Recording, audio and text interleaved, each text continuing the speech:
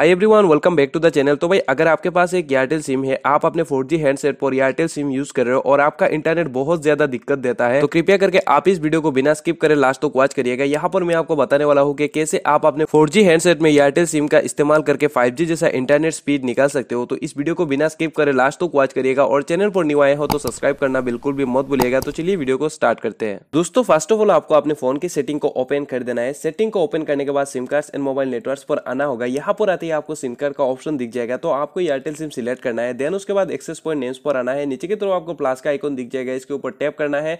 यहाँ पर टैप करते ही आपको एडिट एक्सेस पॉइंट पर लेके आ जाएगा। फ़र्स्ट ऑफ़ ऑल आप देख सकते हो नेम का ऑप्शन तो यहाँ पर क्लिक कीजिए। क्लिक करते ही जैसे मैं लिख रहा हूँ सेम टू सेम आपको यहाँ पर लिखना होगा। तो फ़र्स्ट ऑफ़ ऑल आपको यहाँ पर एस कैपिटल में पी स्मॉल लेटर में double E D small letter में और साथ ही बी कैपिटल में और टी स्मॉल लेटर में। स्पीड बोर्ड एक साथ होगा और एस बी कैपिटल में होगा। बाद में एक स्पेस लगा देना है और यहाँ पर 2023 लिख देना है। ये लिखने के बाद ओके कर देना है। सेकंड नंबर पे आपको दिख जाएगा एपीएन का ऑप्शन। तो यहाँ पर क्लिक कीजिए। सबसे पहले आपको यहाँ पर स्मॉल लेटर में A I R T E L लिख देना है। उसके साथ ही आपको फाइव जी स्मॉल लेटर में लिख देना है। ये लिखने के बाद ओके कर दीजिए। ओके करने के बाद proxy not set port not set रहने देना है। यूज़र नेम पर आना है। आने के बाद यहाँ पर आपको लिखना होगा एस बी स्मॉल लेटर में एट द रेट लगा देना है साथ ही। और यहाँ पर आपको फाइव जी जो है वो स्मॉल लेटर में होगा। एक साथ सारा होगा। बाद में ओके कर देना है। ओके, करने के बाद नीचे की तरफ़ आना है। आपको यहाँ पर दिख जाएगा सर्वर का ऑप्शन तो यहाँ पर क्लिक कीजिए।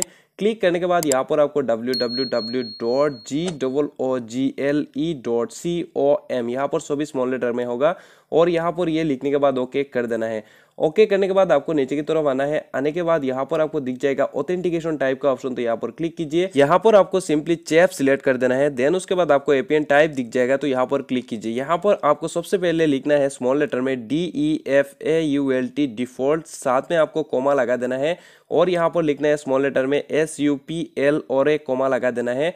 देन उसके बाद H I P R I लिख देना है और फिर से आपको कोमा लगा देना है। और यहाँ पर आपको सी बी एस लिख देना है, फिर से कोमा लगा देना है। एफ़ और टी ए लिख देना है देन ये हमारा कंप्लीट हो जाएगा। सो भी स्मॉल लेटर में होगा, आप ध्यान से देखिए, बाद में आपने फ़ोन पर लिखिए ठीक है? तो यहाँ पर ये लिखने के बाद ओके कर देना है।